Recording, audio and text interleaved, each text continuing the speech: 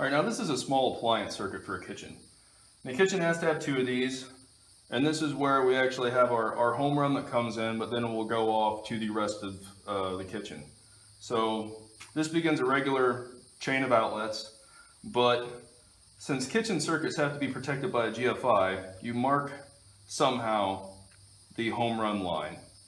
It's called the line side of the GFI. So lots of people do this different ways. Uh, this one I actually wrote line on with a marker. Some people mark it by going ahead and just stripping an end so you know that's the line side. But what you do is you just make sure you know that's the line side, the home run coming in. Score the wires like we've done before.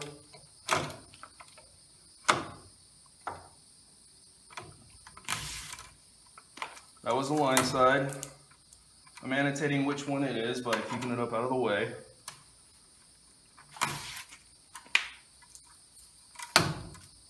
Now for these, since you're actually connecting outlets here, what you have to do is what's called a pigtail for the grounds. So that's what one of the reasons why you like to leave the wires long. So you have a, a longer piece of ground wire available. You tie these to, together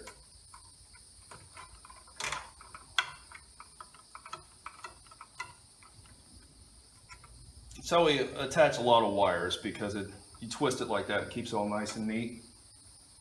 Take a wire nut,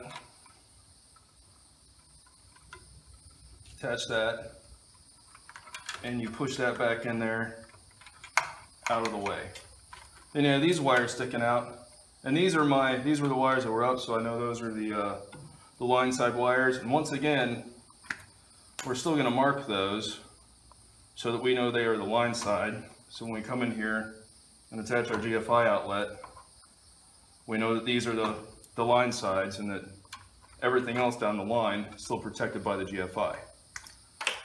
So you take that and kind of wrap it around itself a little bit just to keep it nice and neat and push it back in there until we're ready. And you can see this will keep going all the way down the line. You don't have to mark the line side anymore because that, that was only necessary at the very first box where the GFI goes. But everything sticking out of the walls over there will be connected.